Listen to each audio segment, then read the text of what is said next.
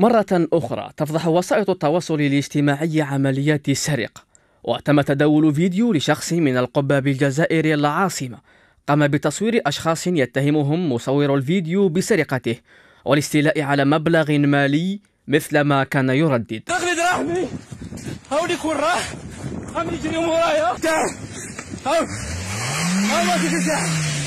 هاوليك وبغرب البلاد سيدي بالعباس تم تداول فيديو يبين تهجم شخصين حاملين لأسلحة بيضاء من الحجم الكبير على شخص ببلدية رأس الماء.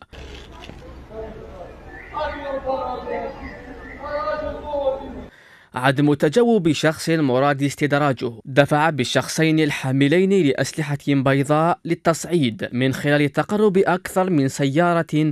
يرجح أنها للشخص المطلوب وقاموا بتحطيم زجاجها وتخريبها.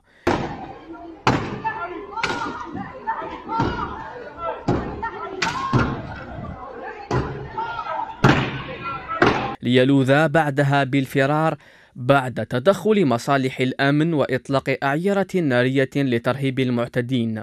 وحسب البيان الصادر عن أمن ولاية بالعباس فقوة الشرطة ألقت القبض على الشابين اللذين كانا في حالة سكر حسب المصدر ذاته. حاول الاعتداء على عائلة باستعمال أسلحة بيضاء من الحجم الكبير وتم فتح تحقيق تحت إشراف وكيل جمهورية محكمة تلاغ. وتسجل مصالح الأمن في الآونة الأخيرة ارتفاعا في معدل الجريمة. وفي مثل هكذا اعتداءات. دفعت بالجهات القضائية لتعديل قانون العقوبات للردع. فهل ستجدي هذه الاستراتيجية نفعا؟